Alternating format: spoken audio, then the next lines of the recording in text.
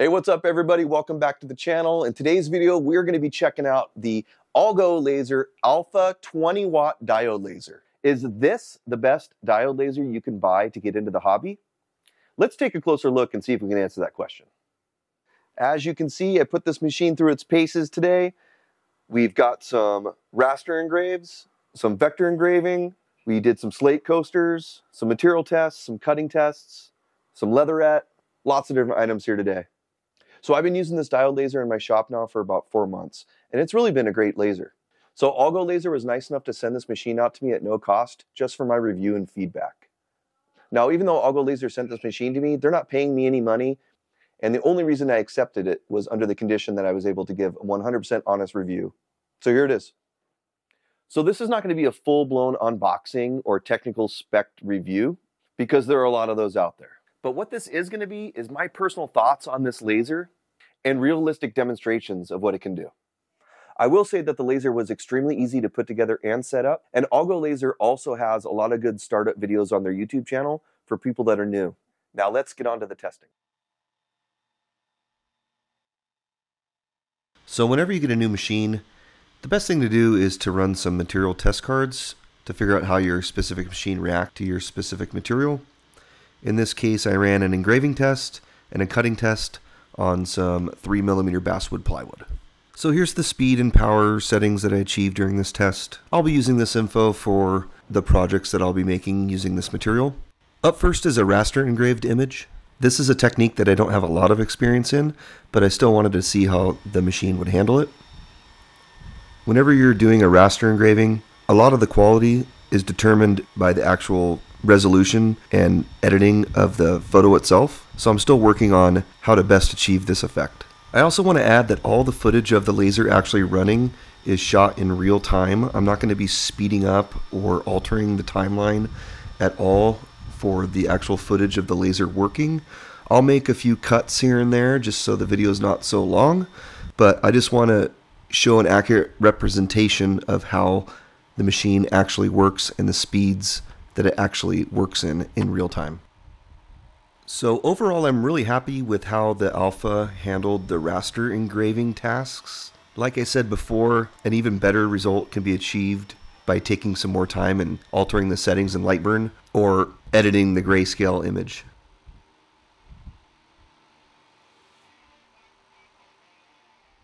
Next, we'll try out some slate coasters. I'm going to go ahead and start off again with a material test just to try to dial in the settings. I ended up going with 130 millimeters a second and 50% power. You'll notice I made a couple positioning jigs out of some scrap plywood. This just helps place the graphics onto the coaster. And the second slot that I made is for the leatherette coming up.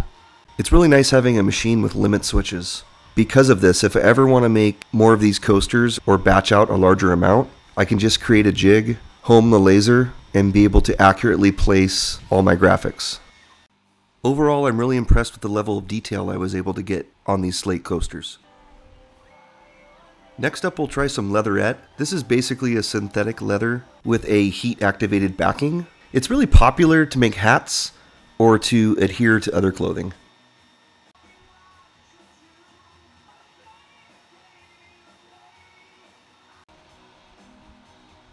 You'll see that the small spot size on this diode laser really makes for a clean and detailed engraving.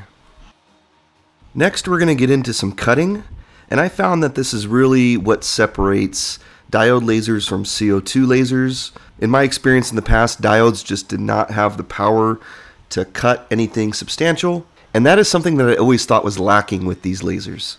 This is quarter inch or four and a half millimeter birch plywood.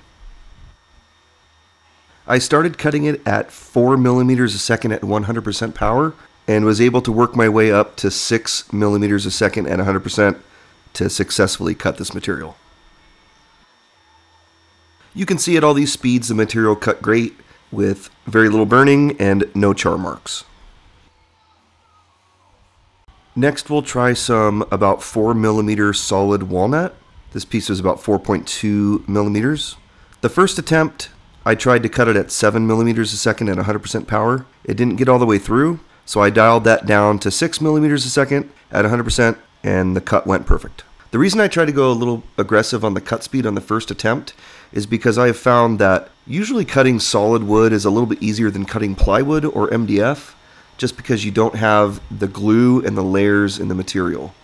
If you're liking this video so far, please hit the thumbs up and subscribe to the channel. The channel is continuing to grow and I look forward to creating more videos like this in the future. Liking and subscribing really helps push this content to other viewers out there and helps us to provide quality content.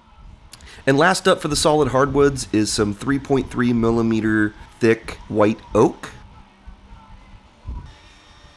This I cut at 8 millimeters a second at 100% power and it cut like butter.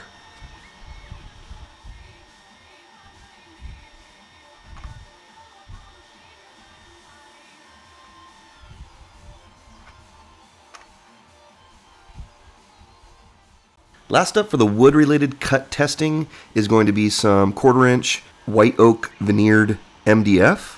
Now MDF is a really challenging product to cut through. So for this test, I was able to consistently get through it at 3.5 millimeters a second at 100% power. And last for the cut testing is some 2.5 millimeter black acrylic.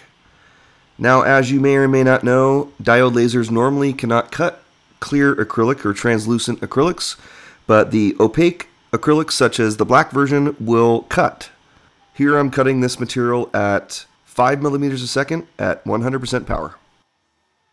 I should also note that during all of my cutting tests, I was running the Air Assist at full power, and overall I'm very impressed with the cutting capabilities of the Alpha.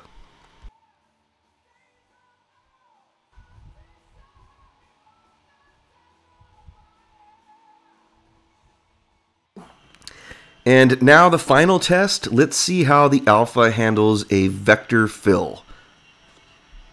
This engraving was done on a piece of cypress wood at 300 millimeters a second and 100% power. During this last bit of footage, I'm going to turn the volume up a little bit so you can actually hear what the machine sounds like when it is running.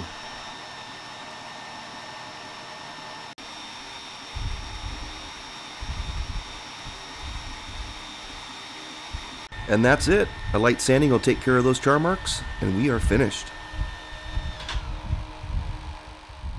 So closing thoughts. I've been really impressed with how this Algo Laser Alpha 20 watt machine engraves. The small spot size creates crisp engravings, and it has the power to realistically cut three, four, five millimeter hardwood, plywood, or MDF. So not only that, but this laser packs a lot for the price. For $850 currently, you get the laser, the risers, a rotary, and a honeycomb bed. That's everything someone needs to get into the hobby or to start a side hustle. Okay, so is this a business machine that's going to replace a CO2 or an RF laser in a production shop? No, but it never claims to do that.